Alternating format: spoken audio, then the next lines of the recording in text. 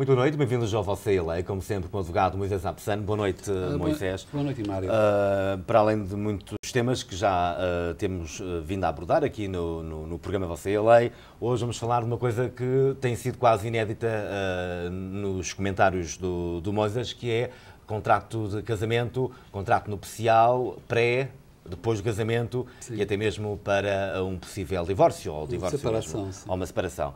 Uh, gostaríamos, portanto, que é. o Moisés nos definisse, nos comentasse well, estes três tipos de, de contrato nupcial.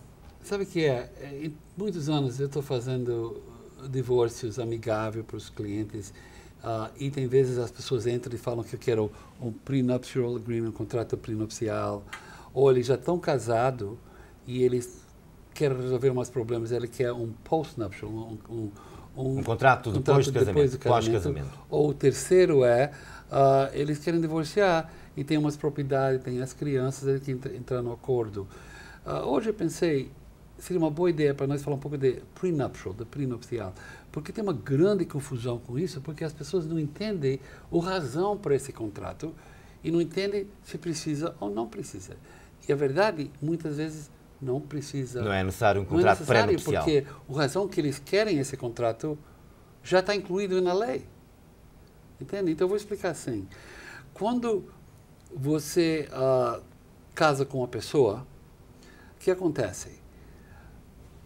Tudo dinheiro que você tinha antes do casamento, toda propriedade que você tinha antes do casamento, se você continua num banco com seu nome ou deixa a propriedade no seu nome, sempre vai ser seu. Você não precisa um contrato que fala eu tenho esse terreno, eu comprei 10 anos atrás, agora eu caso. Você não tem que preocupar que ela vai, eh, o esposo ou a esposa vai receber o terreno, porque era antes do casamento. Então, essa é uma coisa que as pessoas pensam, precisam um contrato para resolver essas coisas. O homem tem 50 mil dólares no banco, ele uh, uh, guardou por muitos anos, ele está acumulando isso, agora ele casa e tem medo que a esposa vai receber se eles têm problema. Mas isso nunca vai acontecer se está no nome dele.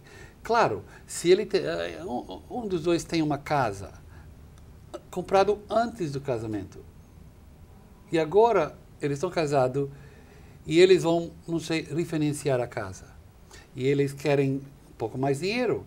Então o, o fiscal do banco falou: well, vocês estão casados, tem que assinar junto. O minuto que ele põe o nome dela na casa, agora é uma história diferente, porque isso embaixo da lei é um um presente de um esposo para uma esposa ou uma esposa para um esposo. Então, o minuto escreve o nome no, no título, acaba com esse direito que você tem antes do casamento. E essa é uma coisa. Segundo, pessoas têm medo se eles têm uma herência. Recebe uma herança de, uma de alguém uh, Eles têm medo que vai receber uma herência e o esposo ou a esposa vai receber esse dinheiro se eles divorciam. Mas isso nunca acontece porque a herência está fora do esquema. Então, se fica no seu nome, ele, você vai ficar seu, sempre se você divorcia. É um pouco diferente se você morre. Se você morre e você faz um, um, um testamento e você fala no testamento, eu odeio meu esposo, ele me enganou por muitos anos, ele tem dez noivas, uh, mulheres em todos os lados, então eu vou dar zero para ele. Eu vou escrever aqui, nada para esse homem. O que acontece? Ele vai receber um terço. Não importa que você escreve no testamento. Tem sempre direito a um terço da herança. Um terço. Do, Cada estado do um que houver, diferente. em propriedades ou em dinheiro, enfim. Tudo, em tudo. Então, se a pessoa morre, claro, é uma coisa uh, que pode ter problema e o prenuptial ajuda. Agora, dinheiro. Quando você trabalha depois do casamento, tudo que os dois ganham é dos dois. Então, se o esposo está ganhando 100 mil dólares por ano... E a mesmo, mesmo que, de, que façam os depósitos do dinheiro em contas separadas? Uh, sim, um contrato prenupcial, eles, eles abrem do, dois diferentes depósitos de dinheiro. Ele ganha 50 mil e ela ganha 10 mil por ano. Ela guarda mil dólares cada ano, ele guarda 30 mil dólares por ano, não sei.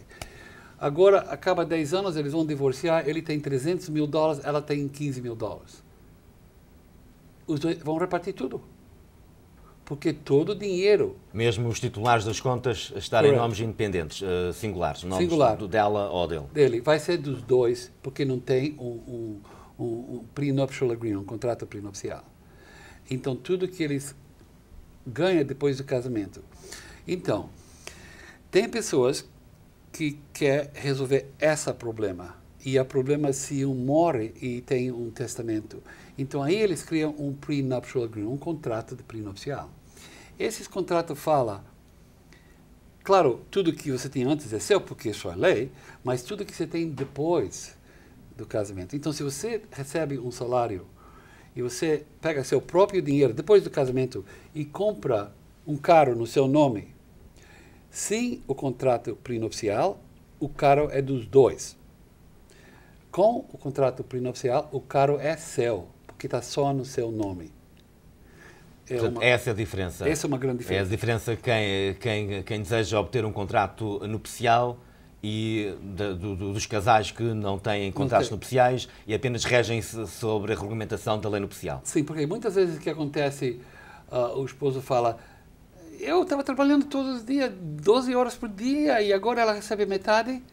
E é, é ela, é metade. That's it. Agora, o uh, que, que acontece também é como você gasta o dinheiro na casa. Se você não tem o, o prenupcial, o contrato, depois que você casa, tudo o dinheiro que você ganha é dos dois e tudo é repartido metade, metade, metade. Uh, não metade, só é, é tudo junto. Quando você tem um prenupcial, você pode modificar isso. Pode falar que todas as despesas é dividido, dividido metade, metade. Pessoas gostam disso, tem pessoas que querem fazer assim.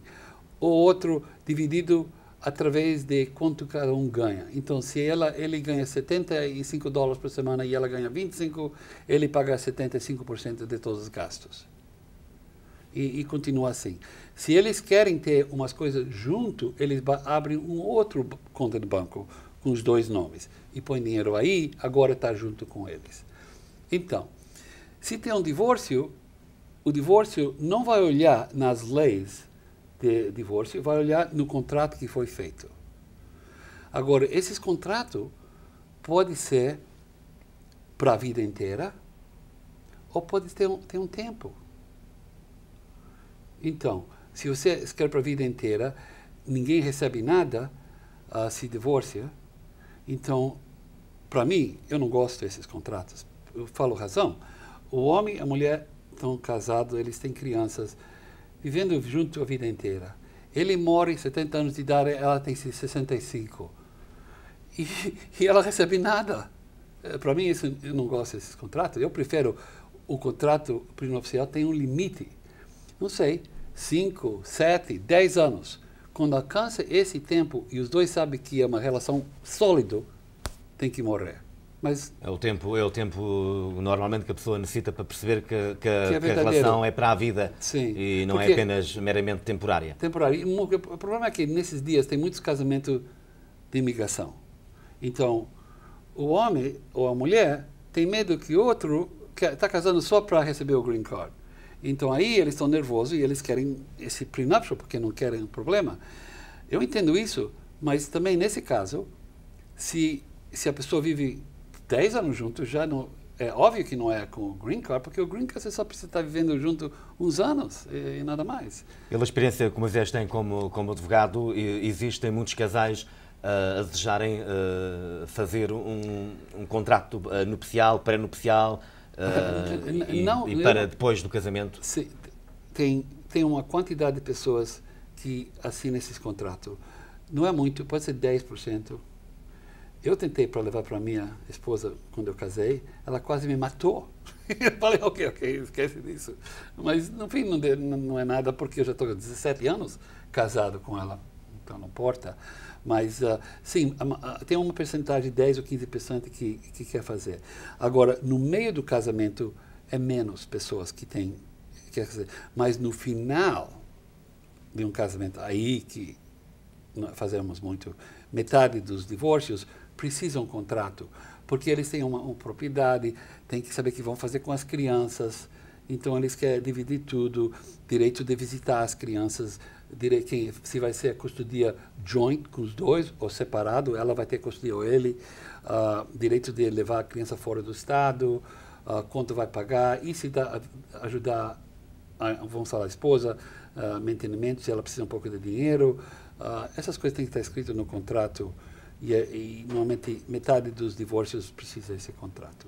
Uh, falando agora nos divórcios, quando uh, há um divórcio entre um casal uh, e se, por exemplo, os filhos ficam sob a custódia da mãe e o pai não tem condições de, de assegurar a alimentação dos filhos?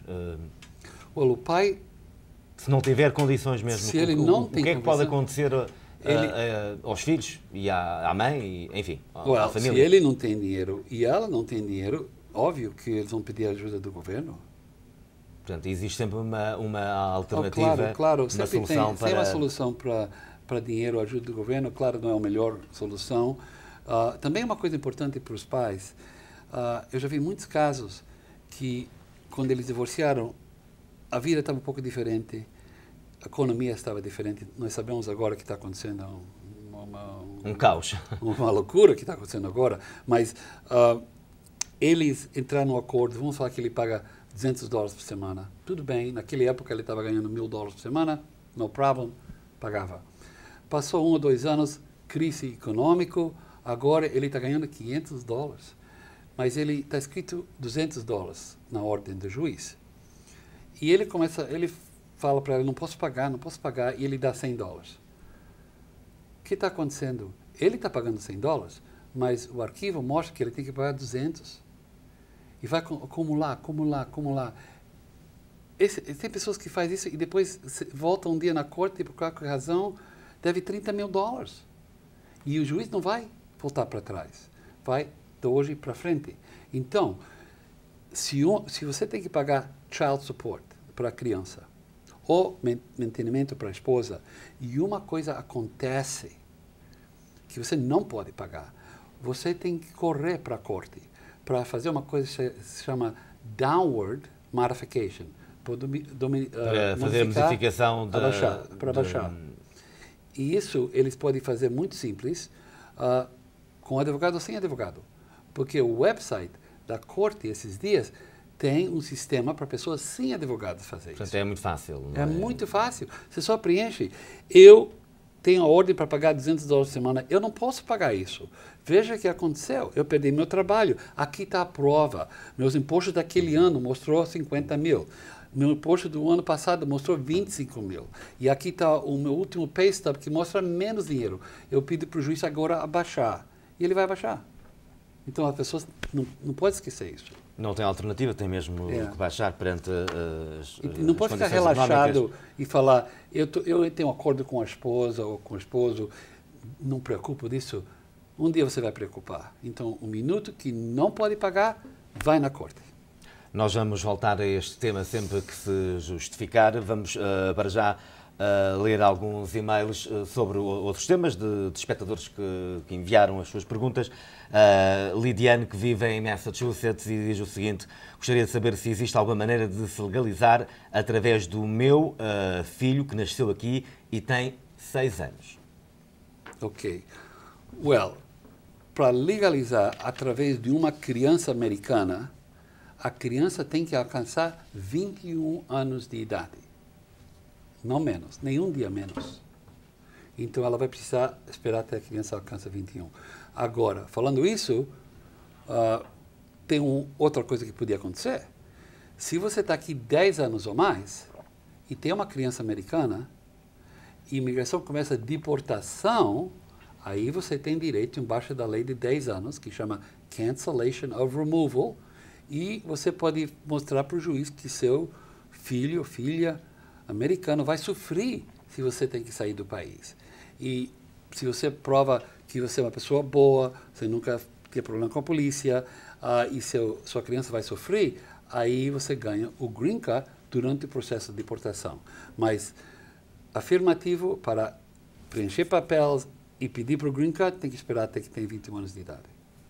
Esperamos que a Eliane que essa justiça tenha ficado esclarecida. Vamos agora fazer eh, um brevíssimo intervalo. Voltamos uh, daqui a pouco a seguir à publicidade. Até já.